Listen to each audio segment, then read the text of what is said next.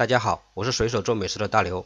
今天我用杏鲍菇、鸡蛋和木耳做一个很好吃的家常小菜，清淡爽口，营养丰富，比大鱼大肉还好吃。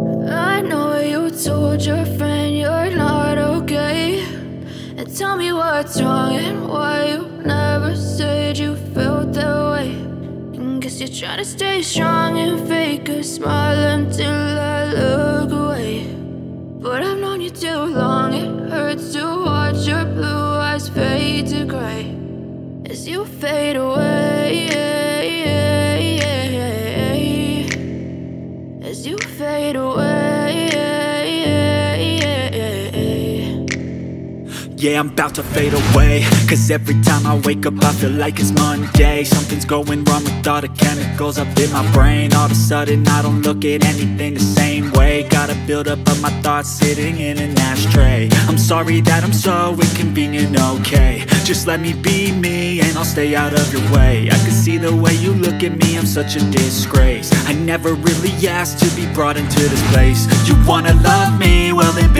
A taste. All the highs and the lows No, you'll never be the same. I don't really wanna hurt you, but I can't control the pain. If you're sticking by my side, maybe we could be okay. Okay, okay, maybe you could be the change I need today. I promise that I've never felt this way. I really hope that you will choose to stay through all the pain. I know you told your friend you're not okay.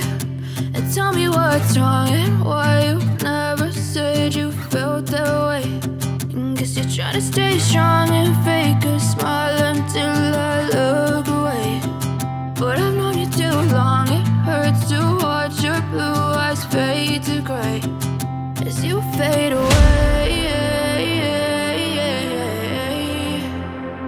As you 还能让菜入味更均匀。然后起锅装盘备用。